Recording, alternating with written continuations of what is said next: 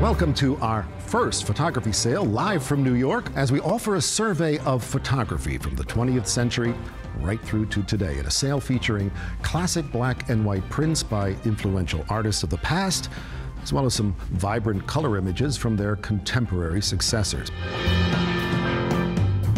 Lot 28 we lead off with now is an untitled gelatin silver print by Imogen Cunningham. The most important thing about this print is it's unique. It comes from a negative that's thought to have been destroyed. That's one of the most important things with starting to collect photography is understanding good provenance and authenticity. Sold to Jeff in Hong Kong for $2,400.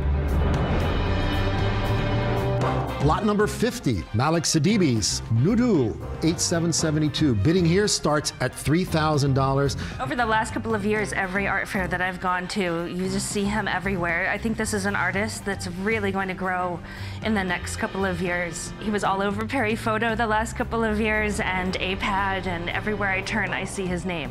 Sold to $3,000.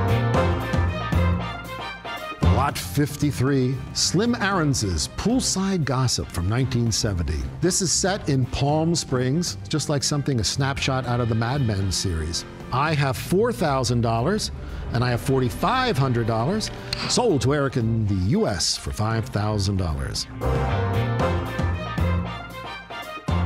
Lot 62, Adam Fuss's pigment print from 2007, a creator of very evocative works which they uh, reflect images of flowers all the way to babies and abstracted spirals. This is infused with his frequently recalled ethereal characters and ethereal feel. Sold to Caroline in New York for $7,500.